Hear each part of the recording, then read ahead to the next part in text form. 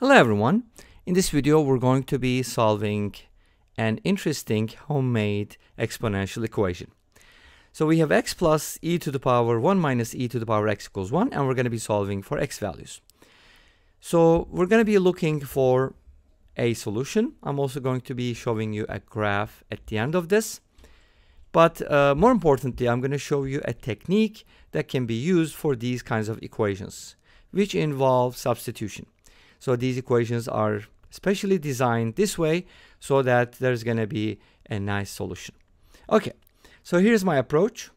I'm going to use a very nice technique called substitution. Okay, you knew that, right? So I'm going to call this something. How about y?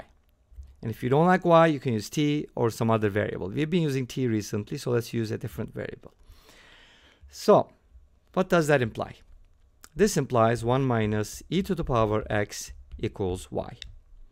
And of course, by substituting that into the equation by replacing 1 minus e to the x with y, we get another equation, which is x plus e to the power y equals 1.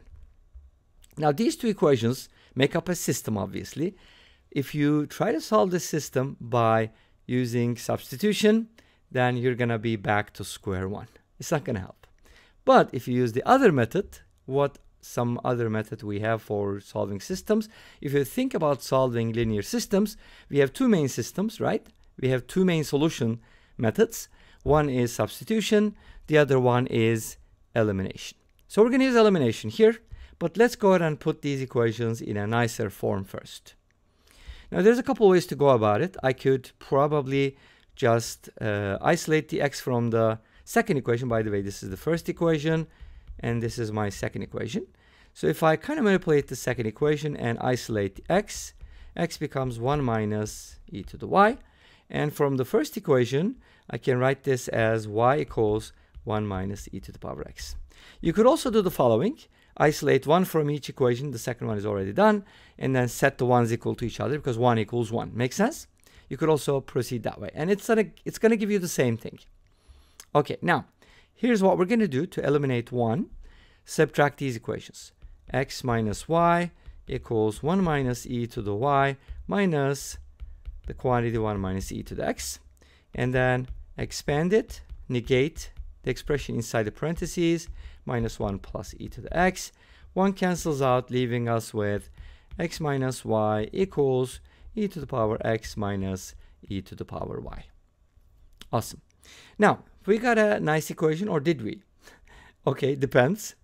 Uh, but if you look at this equation carefully, uh, you're going to notice that if x and y are equal, then this is going to be true, right?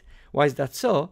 Because if x equals y, then x minus y will be 0, and e to the power x will equal e to the power y because x equals y, and this implies e to the x minus e to the y equals 0. So these two are going to be equal.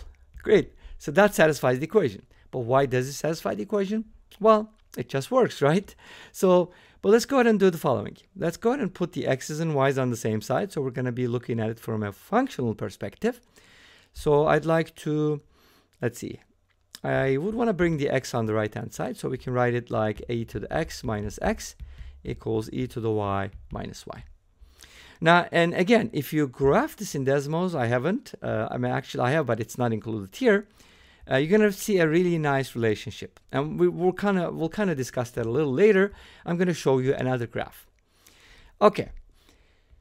So we said that x equals y satisfies this equation, but let's go ahead and take a look at this function f of t uh, equals e to the t minus t. So if I define my function using a different variable, then I can look at these two as two points on the function, uh, x comma e to the x minus x and y comma e to the y minus y. So I'm evaluating this function at two different points, f of x and f of y, and I'm getting the following. f of y is the same as f of x.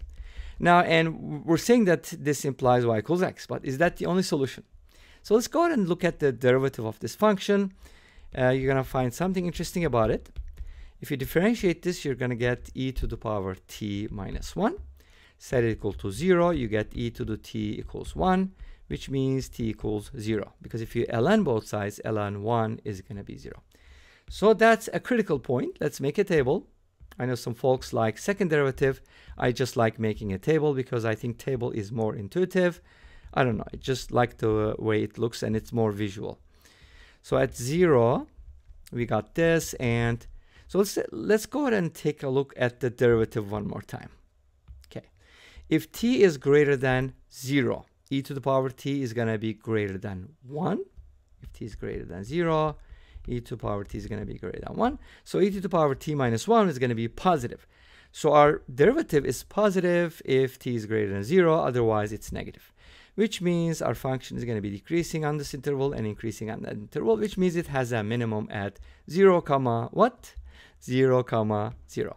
Why? Because our function is evaluated at 0 gives us e to the power 0 minus 0 and that is okay let's see that is e 1 minus 0 I'm sorry e to the power t minus t no the derivative uh, okay so let me fix this real quick okay so the derivative at 0 is 0 but if I evaluate the function f of t which is e to the t minus t at 0 you get e to the power 0 minus 0, which is 1 minus 0, and that will be 1. So 0 comma 1 is going to be a minimum, and then our function is going to go in two different directions. Now, how's that going to behave as t approaches infinity? If you look at the limits, of this function as t approaches plus minus infinity, you're going to see the end behavior. For example, if you look at the positive infinity, obviously it's going to go to positive infinity.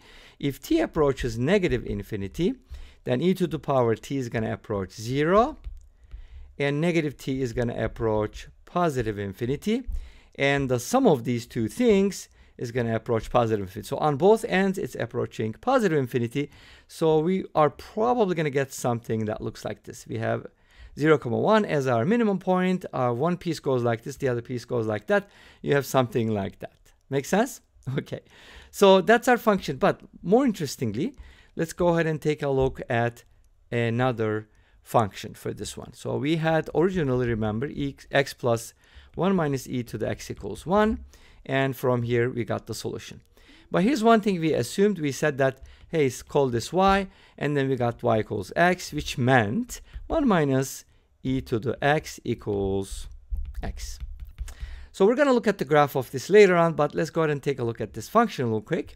1 minus e to the x equals x. Uh, we could also look at it this way, e to the x equals 1 minus x. Now notice that one of these functions is increasing, the other one is decreasing, so they're going to intersect at a single point.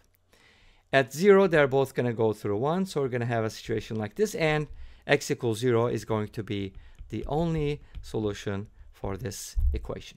Let's go ahead and look at a graph of something else, which is also going to give us an idea. I wanted to include this graph in the video because I really love the graph. It's very interesting.